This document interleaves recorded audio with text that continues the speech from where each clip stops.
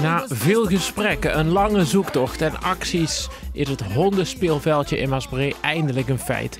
Wethouder Natasja Vaassen verrichtte samen met initiatiefnemer Dorip Trepels de openingshandeling. Kijk.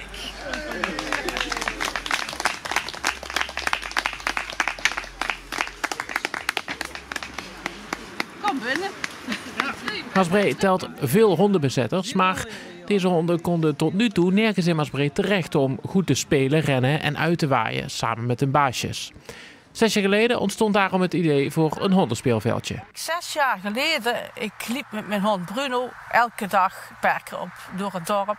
En ik keek om me heen en ik dacht, er zijn zoveel kinderspeeltuinen, velden.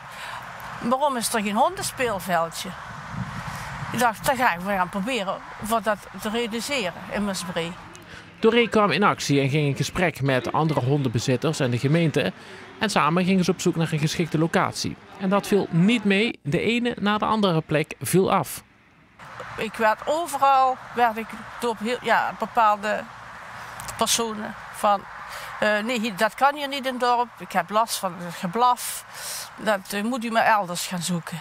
En tot uiteindelijk ben ik eh, bij Pelemaas terechtgekomen, bij Pim Hille.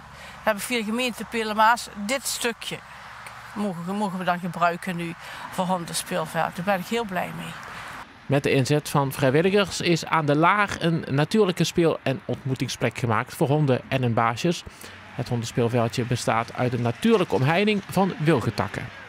Het hondenspeelgeld gaat meer doen als eh, men dieren bij elkaar brengt. Het gaat ook mensen verbinden. Want op vandaag zijn veel mensen eenzaam. En ze hebben dan, pakken zich toch op later leeftijd ook nog een hondje. Of dan gaan ze lopen en denken oh hier is een veldje. Zal ik daar eens gaan zitten?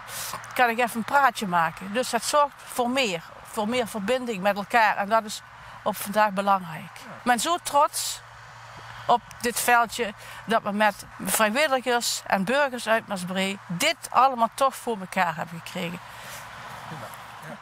Het speelveldje is mogelijk gemaakt door bijdragen van de gemeente Pillemaas, Wonen Limburg en de Rabobank. En daarnaast ook veel particuliere en bedrijfssponsoren.